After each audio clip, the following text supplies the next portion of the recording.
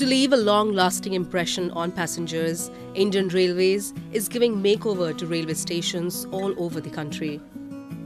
Railway stations are being beautified with wall paintings and mesmerizing murals. From famous singers to classical dance forms, the bright paintings depicted rich cultural heritage are a visual delight for passengers. Prayag Junction railway station in UP's Prayagraj. The inspiration for the artwork is from everything cultural. To welcome pilgrims during Kumbh Mela, all railway stations from Prayagraj are being beautified.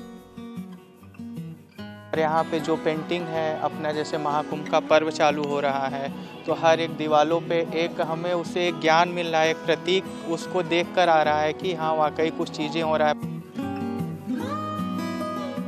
Indore railway station has been beautified by using 3D painting to adorn its premises. The paintings depict famous monuments of the region such as Rajwada, Daly College, and also artwork related to railway safety and security. One of the footbridges on platform number 1 displays Patal Pani waterfall with 3D effect.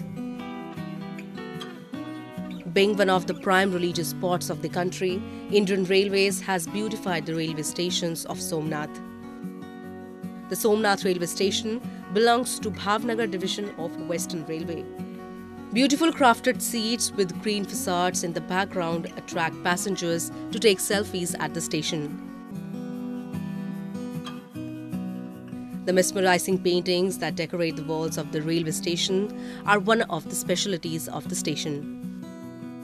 आज तक हमने बहुत जगह घूमे हैं और बहुत सारे स्टेशन देखे लेकिन जो सोमनाथ देखा है सोमनाथ का स्टेशन बहुत अच्छा लगा जो छवि हम लोग दिल में बना के आए थे उससे बहुत सुंदर है The murals at the walls of Sasangir railway station are inspired by the wildlife of Gir Forest National Park.